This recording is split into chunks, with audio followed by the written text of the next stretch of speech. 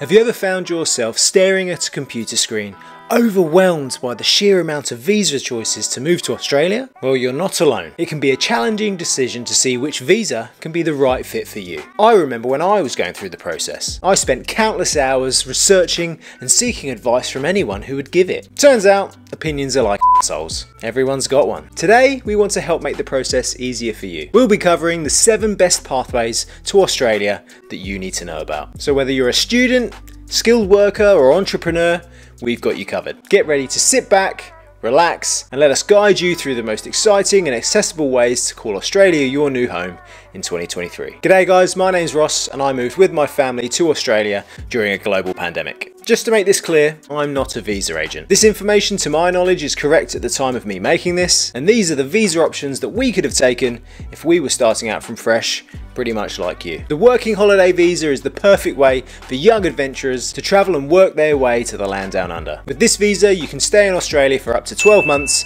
and work with each individual employer for up to 6 months. This gives you the perfect opportunity to fund your travels and you'll be happy to know that this visa only costs 510 bucks, which is a small price you have to pay for the awesome memories that you're going to make. Not only will you get the opportunity to experience Australia's unique culture and lifestyle, but you'll also have the chance to meet people from all over the world and make lifelong friends. And whether English is your first language or not, you can practice the lingo and gain valuable work experience that might lead you onto your future career. If you want to find a way to extend your stay for another year, then you'll have to complete at least three months of specified work which is normally farm work. Do you like farms? Of course, there are some requirements that you need to meet, like having a valid passport from one of the eligible countries, being aged 18 to 30, or even 35 in some countries, I literally don't know why some countries are allowed to go to 35. They're the lucky ones. You'll have to meet health and character requirements, and you'll also have to have around about $5,000 in savings to prove that you can fund at least the start of your working holiday. But as long as you meet those criteria,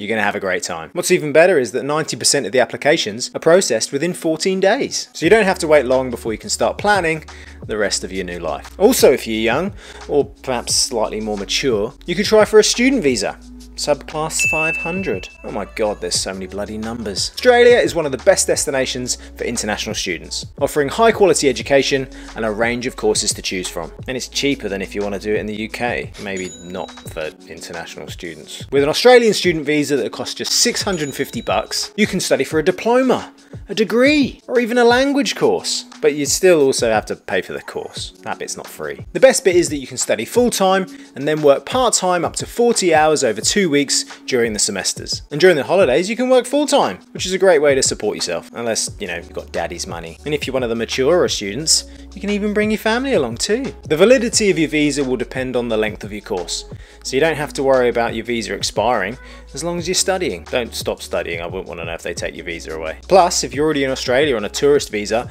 or a working holiday visa, you can apply for a student visa while you're here, as long as you're from certain countries. Studying in Australia isn't just about getting a world-class education, it's also about experiencing a new culture and making lifelong friends, and exploring all that Australia has to offer. Kind of thinking about it, I wish I'd studied in Australia now. Not that I look down upon my education at the University of Reading. Make sure you apply for your student visa in good time, because processing times can vary, but it might lead you on to your fantastic new career. If you're considering more of a temporary stay in Australia, then there are several visa options that can suit your needs. And if you're keen to work in Australia, then the Australian Business Sponsorship Visa, or TSS Visa Subclass 482, sounds like some kind of code language, might be right up your alley. These cost between $1,330 and $2,770 depending on the length of your visa, which can be two to four years. The visas allow you to stay and work in Australia for as long as you've got the job. Plus, if you've got dependent family members, then they can be added onto your visa too. The Australian Business Sponsorship Visa is available for hundreds of different eligible occupations. God, that was difficult to say. So whether you're a trade professional, computing professional, engineer, nurse, doctor,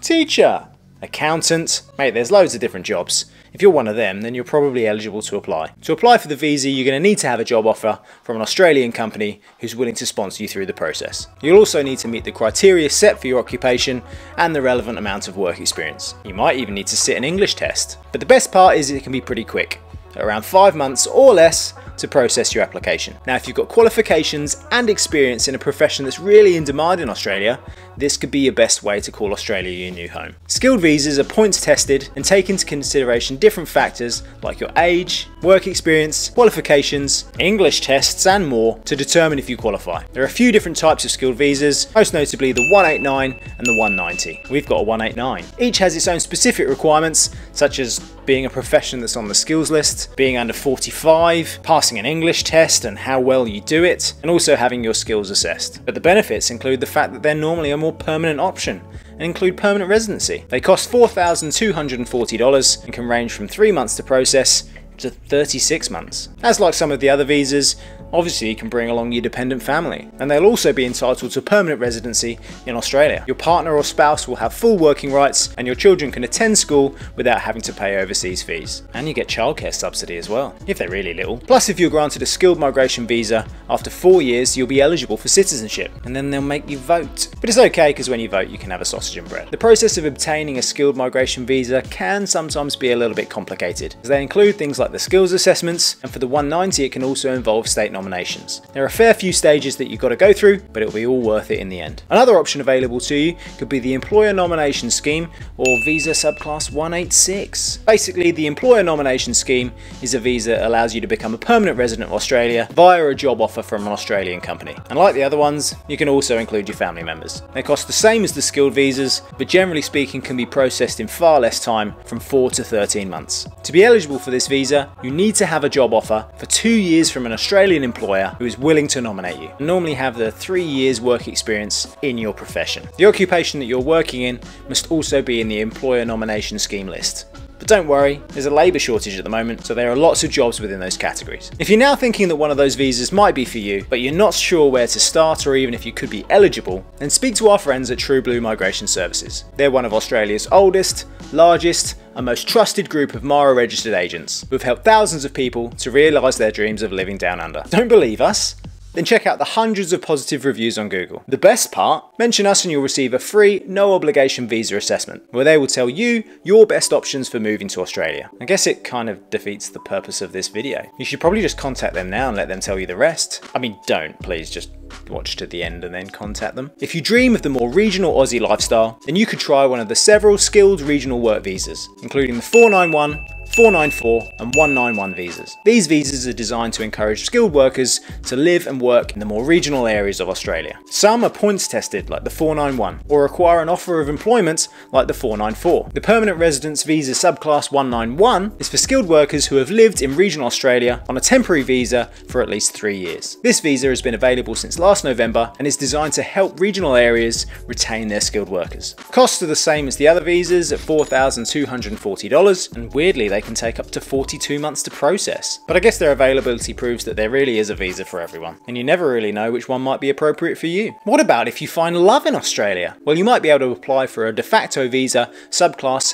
820, which is temporary and then can lead to an 801, which is the more permanent option and the one that can allow you and your partner a new life in Australia. Oh, how romantic. To prove that you're the real deal, you'll obviously have to provide evidence of your relationship. This includes showing that you've lived together for at least a year if you're not married, or only six months if you are maybe it's worth putting a ring on it. The cost of finding love, however, can be a bit steep. $8,085 can seem a lot, but can you really put a price on love? Well, if you're Australian, it turns out that you can, and it's $8,085. The great thing about the de facto visas is that they can be submitted both inside and outside of Australia. Remember, if you need help with your visa or deciding what your best options are, then speak to our friends at True Blue Migration Services. Mention us and get your free, no obligation visa assessment. And if you want to know what your options are, or whether your job is in demand when you get here, then make sure to watch this video. Catch you later.